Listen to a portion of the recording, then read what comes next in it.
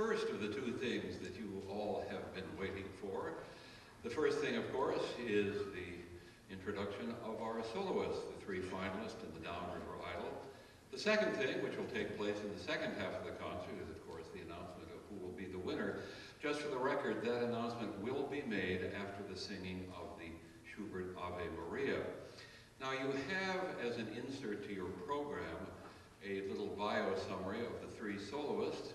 We discovered, however, that due to a printing error, the inside is not in the same north-south configuration as the outside. But we are sure that with the fine performances of the soloists, everything will be right in your world. So the first piece you are going to hear is arguably the most famous song from George Gershwin's great classic folk opera, Porgy and Bess, an opera which was first performed on Broadway in 1945, and it kind of dumbfounded everybody.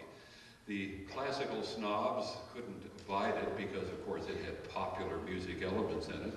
The popular music people couldn't quite figure out what was going on because it was cast in the form of an opera with some very interesting classical overtones to it.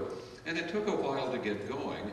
But after a few more productions in this States, it moved over to Europe where it became very, very popular in Germany and of all places in Russia. And there were more performances here in the United States, but for some reason the Metropolitan Opera just refused to have anything to do with it. And then finally, 1985, on the 50th anniversary of the first production, they finally relented and it was mounted on the stage of the Metropolitan Opera, and it's been, of course, a favorite with audiences ever since, as indeed it always has been. The opera takes place in a portion of Charleston, South Carolina, known as Catfish Row. And shortly after the opera opens, some of the characters are filling the stage and wandering about, and the character named Clara comes on with her tiny child in her arms and sings this wonderful lullaby, which is certainly one of the most beautiful pop songs ever written. And here to sing it for you this afternoon, please welcome our first idol contestant, Jill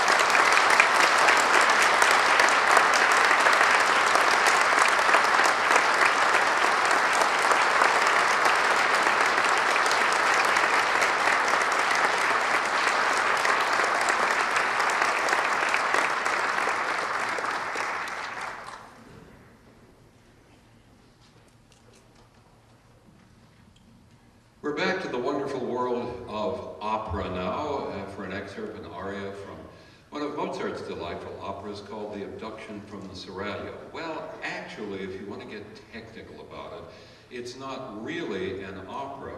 It's called in German a Singspiel, which literally means a play with singing.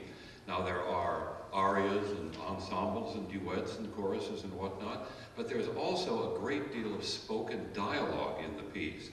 So if you think about it for a minute, that makes it kind of like a classical era forerunner of the modern day Broadway musical, which has solos and ensembles and choruses and a lot of spoken dialogue. This was written when Mozart was in his mid-20s, and just very briefly, it tells the story of a young Spanish nobleman who has arrived on the Turkish coast looking for his servant, his fiancée, and her maid who were abducted by pirates and taken to the palace of a very wealthy pasha.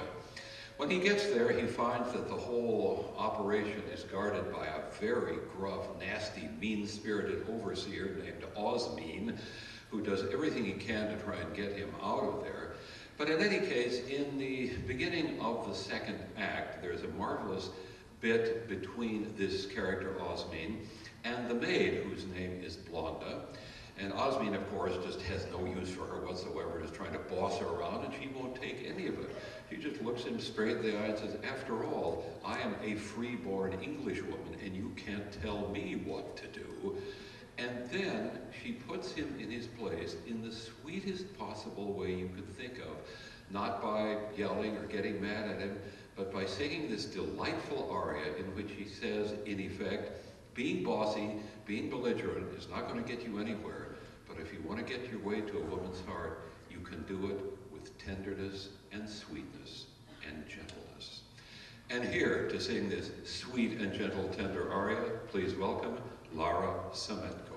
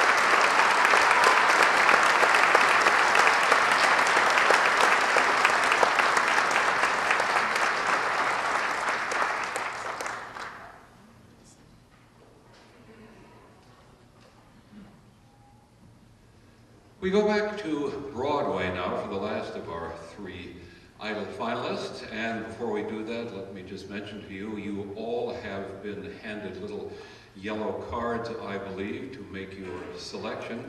We ask that you do so as soon as possible when the intermission comes on us and hand them to an usher for tabulation. We're going to conclude this portion of the concert with one of the great songs from Leonard Bernstein's classic Broadway musical, West Side Story. It may interest some of you to know that when choreographer Jerome Robbins brought Bernstein and playwright Arthur Laurents together in 1949 to work on the play, it was originally going to be called East Side Story. And that's because it originally was supposed to have been a star-crossed romance between a Jewish boy and a Catholic girl set amidst the gang warfare in Manhattan's Lower East Side. Well, because of pressing commitments that all three of them had, they had to put it on the shelf for almost five years. And when they came back to it, the demographics in New York had changed so radically that they realized they could no longer sustain the original plot line, and so it became West Side Story, all about a romance between a Polish boy and a Puerto Rican girl set against the background of the gang warfare on the west side of Manhattan, of course, West Side Story. As the musical opens, not too long into it, the character of Tony and the character of Maria both go to a dance, not knowing each other. They meet for the first time. Tony is just smitten head over heels in love with this gorgeous creature, and he sings this beautiful standard, which we will now have sung for us by David Martin.